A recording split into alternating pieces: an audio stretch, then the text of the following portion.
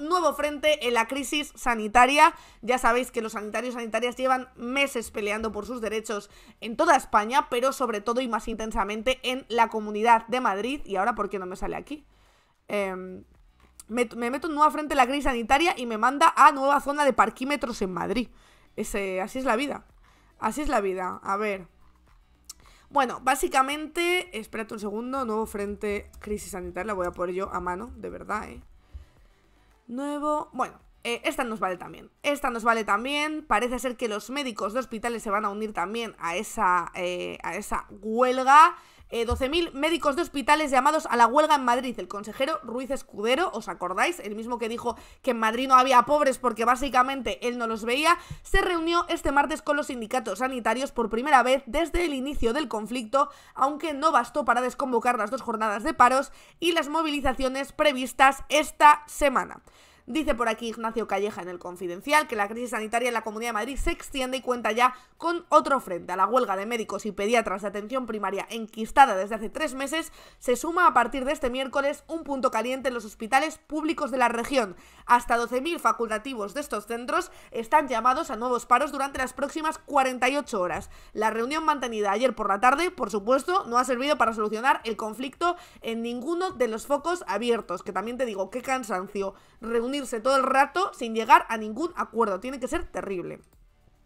El encuentro, según las fuentes consultadas, fue cordial y sirvió para que los sindicatos trasladasen las inquietudes y reclamaciones del sector. Sin embargo, no hubo ningún avance en torno a las huelgas de atención primaria y de los facultativos hospitalarios. La reunión, explican algunos de los presentes, habría encajado más al inicio de la legislatura como una primera toma de contacto, que en este momento, a las puertas de las elecciones del 28 de mayo y tras 100 días de conflicto. Claro, porque, hombre, queda muy bonito si de repente en mayo eh, Ayuso les da todo a los sanitarios, imaginaos. Eso la verdad es que a la hora de ir a unas elecciones sienta muy bien, pero la realidad es que Ayuso ha dicho esto que he visto esta mañana, que es acojonante.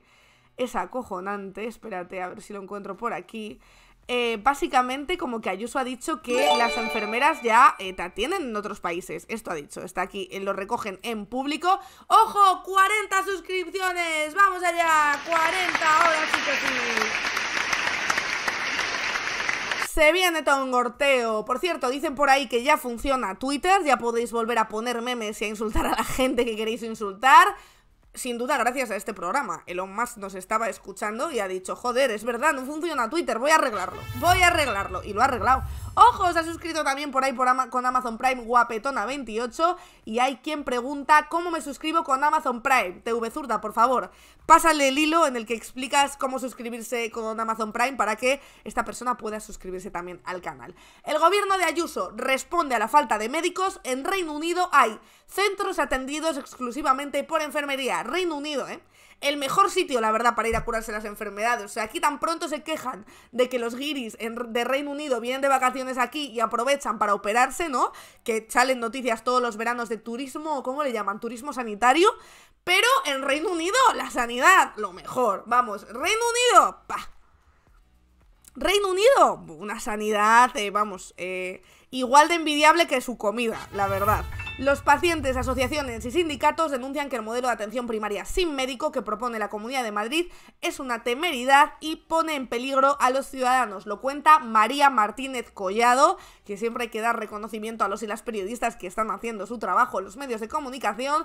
María Martínez cuenta que el gobierno de Isabel Díaz Ayuso corrobora por escrito su interés en el modelo sanitario británico como referencia para la Comunidad de Madrid. Así lo constata la respuesta que la gerencia de atención primaria, tal y como ha podido comprobar público, ha dado a tres pacientes que han reclamado tras ser atendidos sin médico en diferentes servicios de urgencias extrahospitalarias. Si bien este medio tiene constancia por diferentes organizaciones sanitarias, que hay bastantes más casos. En algunos países, como Reino Unido, la atención a determinados procesos está organizada en centros atendidos exclusivamente por enfermeras. Versa la contestación del SERMAS a una paciente publicada en redes sociales por un médico de familia del centro de Miraflores de la Sierra. Una comunicación oficial, como ha podido corroborar este medio, que también se ha remitido a otros pacientes que han presentado quejas similares.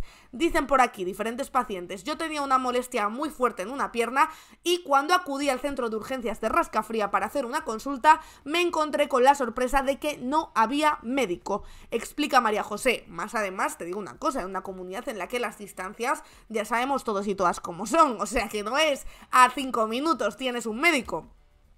La ciudadana cuenta que la enfermera que le atendió acababa de ser reubicada en el centro y que lo único que le puedo sugerir fue, veis, desplazarse a 60 kilómetros al centro de la Cabrera, donde intuía que podría haber un médico de familia que la atendiera. Esto es lo que están haciendo ahora mismo con nuestra sanidad pública. Decís por aquí, Reino Unido envía a sus jubilados a la Costa del Sol y de paso se evita tener que atenderlos en su sanidad. Exactamente. Por eso se puede permitir tener enfermeras. Por cierto, muchísimas gracias Miyaki por esa suscripción con Amazon Prime, mil gracias. Em, así está ahora mismo la sanidad. De hecho, creo que Ayuso no llegó a decir que las enfermeras podían hacer, podían atenderte. A ver, atenderte al entrar a los hospitales. Igual lo busco en Twitter, si ya va. Eh, decía algo así como. Eh, es que era muy gracioso eh, las declaraciones porque decía, ¿Quién está en cuanto entras al hospital? Las enfermeras. ¿Por qué no te van a poder atender? Es como, claro que sí. ¿Por qué no darle todavía más trabajo a las enfermeras, eh? No más dinero, más trabajo, eso sí. Eso sí, dice por aquí, por cierto, Javier Padilla, mira, ahora que he metido esto, centro de urgencias sin médico, hospitales sin ventanas, barrios sin centro de salud, enfermeras sin material de curas, administrativos sin suficientes líneas de teléfono, contratos a hermano, seguros privados creciendo, dice por ahí, eh, sobre la gestión de Isabel Díaz Ayuso. Hostia, ¿no, no va a estar aquí? Pues la verdad es que eran unas declaraciones maravillosas. Eran unas declaraciones maravillosas en las que Ayuso decía eh, algo así, esto eh, hoy la señora Ayuso ha intentado justificar que no son necesarios los médicos porque las enfermeras ya realizan el triaje en los hospitales. Bueno, de hecho, eh, no sé si fue en esta misma rueda de prensa. Un servicio que presta plenas garantías a todos los vecinos. Hay que tener en cuenta, primero, que la enfermería es la puerta de entrada en todos los hospitales y que es precisamente la enfermería quienes hace los triajes en los hospitales, en las urgencias. Ahora mismo se extiende la, la idea de que no pueden ser médicos eh, o sea, que no pueden ser enfermeros quienes están atendiendo en estos centros, en estos puntos. Y creo que primero es, desmerecer la enfermería y después eh, es trasladar una imagen que a mi juicio es insensata. Estos mismos enfermeros, estos mismos profesionales sanitarios están atendiendo en otros muchos puntos y perfectamente pueden hacer su trabajo porque están dotados y están formados para ello. Sí, pero una cosa es atender pues eh, otro tipo de cosas y otra cosa es atender urgencias, ¿no? Básicamente. Dice, casi dice que quiere que los médicos sean enfermeros. Bueno, es que ha llegado a decir que hay muchos puestos de médicos que se pueden cambiar por los puestos de, enfermeras y enfermeros, por supuesto.